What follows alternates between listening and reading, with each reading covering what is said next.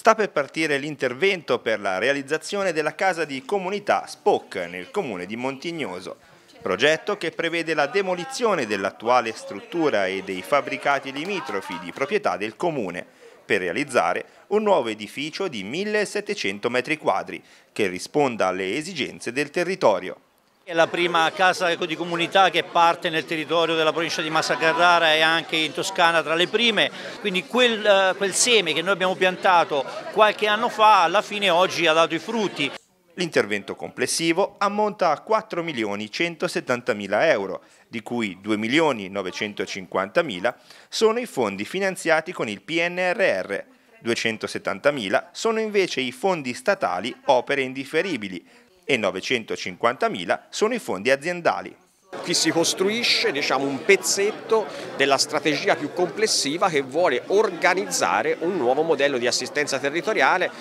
particolarmente dedicato alla presa in cura delle persone anziane che hanno problemi di cronicità o che hanno problemi di fragilità.